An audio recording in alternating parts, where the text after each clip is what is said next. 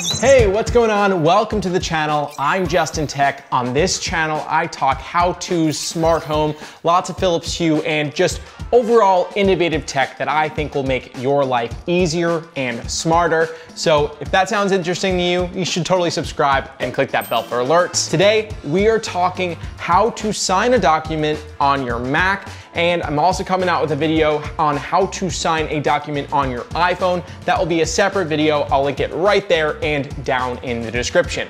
All right, let's get right into this.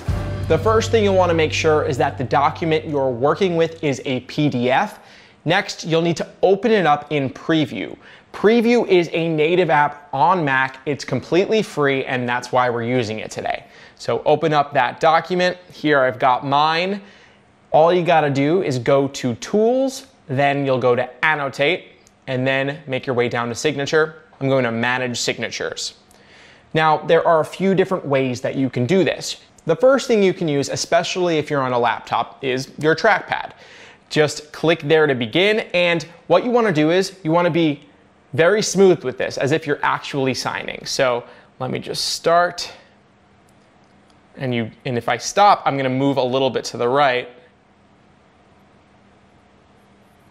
Now that says Justin Tech, I promise. Uh, I don't normally sign my way, name like that, but now I just gotta press any key to finish it. There you go, I have a signature, done.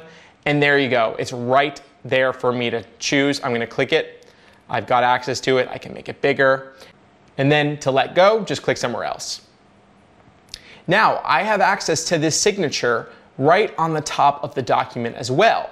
I can create another one. This time I'm going to use the camera. This is really cool and probably the best way maybe to do it. Hey, right here I have my signature on a piece of paper. I'm going to put this to the camera.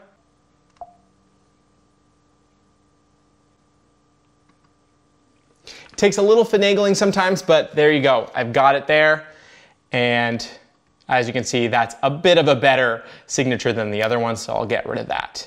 The last way to create your signature is actually pretty cool.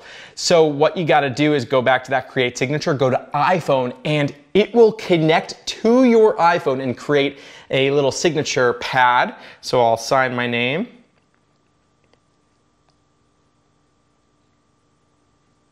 That says Justin Tech also, I promise. And there you go, it showed up right on my computer, click done and then I've got that signature on that list. So yeah, I've got all of those signatures at my disposal on preview now that I can pick and choose from at any time. It is that simple. I hope this video helped you out today. If it did, make sure to give this video a like. That way other people can find it. And again, if you wanna see more videos like this and some really awesome tech reviews, you guys should subscribe. Click that bell for alerts. If you wanna find out how to sign documents right from your iPhone, open it up in an email, sign it, and send it. It's that easy. Be sure to check out that video, which is coming out next week. If it's out already, I'll throw it down in the description. That's all I've got for you guys today. I'm Justin, and I'll tech you later.